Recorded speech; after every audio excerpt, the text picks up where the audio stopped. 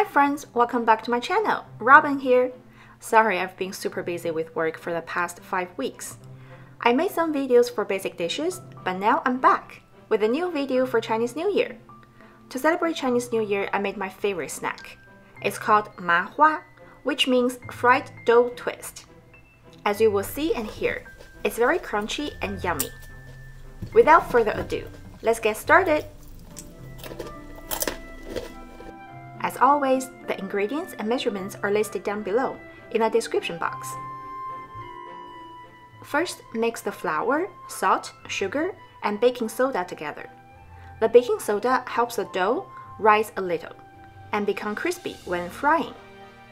Add lukewarm water and mix with the dry ingredients. Add one egg and mix everything together.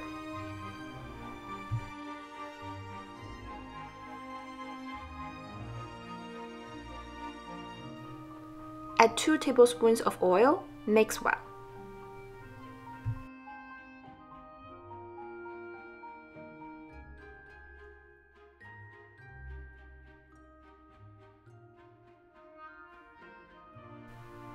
At this time, you will feel that the dough is soft and moist.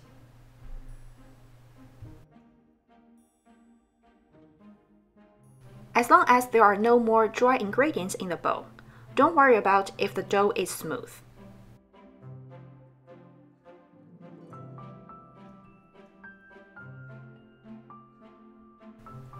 Cover the dough and let it rest for 30 minutes.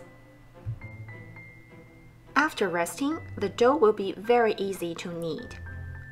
Knead the dough until smooth.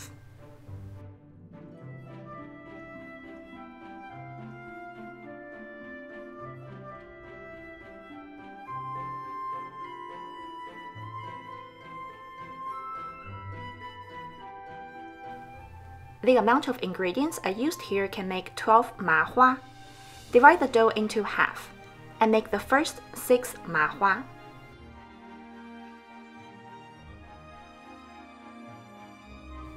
Flatten the dough with a rolling pin and roll it out into a rectangular shape.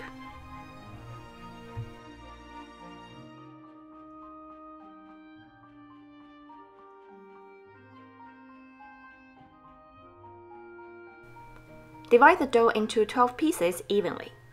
Today I'll be using a two-strand method.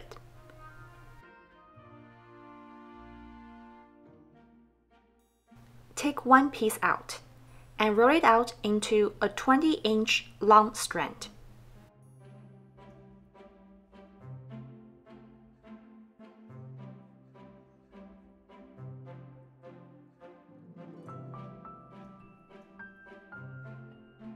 Repeat and make a second strand. Put these two strands together and start twisting them by pushing one hand up and the other hand down. Keep twisting until you feel strong resistance from the dough.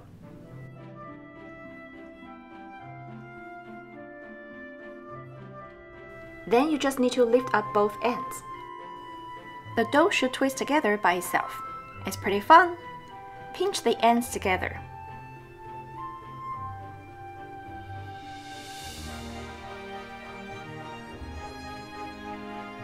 Cover it with a cloth or plastic wrapper to prevent the dough from drying out.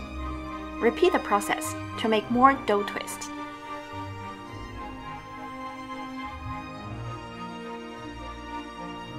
Now let's get into the frying part. Heat up the oil to 250 Fahrenheit or 120 Celsius degree. Add the dough twist.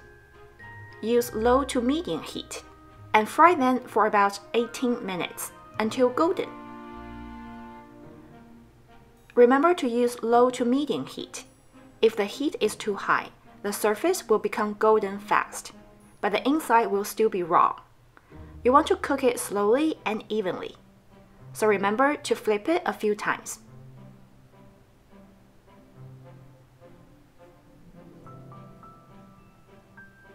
When it's done, place the cooked ma hua on paper towels to soak up the excess oil.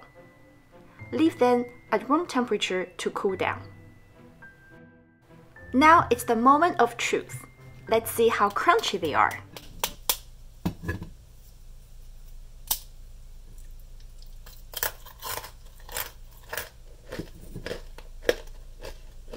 I hope you enjoyed my video. Please don't forget to like and subscribe to my channel. Happy New Year, everyone! 新年快乐! Thanks for watching! Bye.